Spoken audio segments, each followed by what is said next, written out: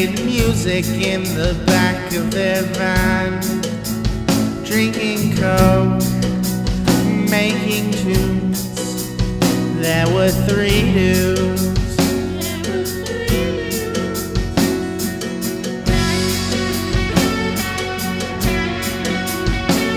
And they made so many beautiful songs together all together now.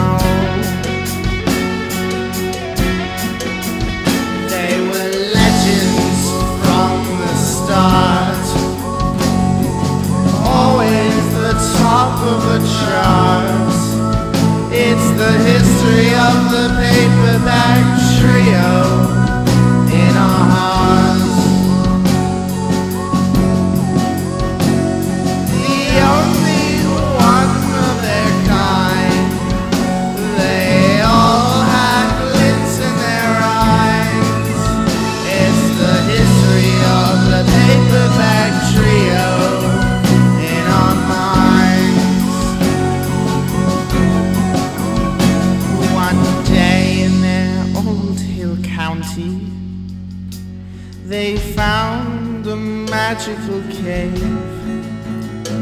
And inside was a great big dragon who had bested all of the brave. The dragon reared back, and with a mighty roar, he spat out a column of fire like the dragon, like he'd never done before never before.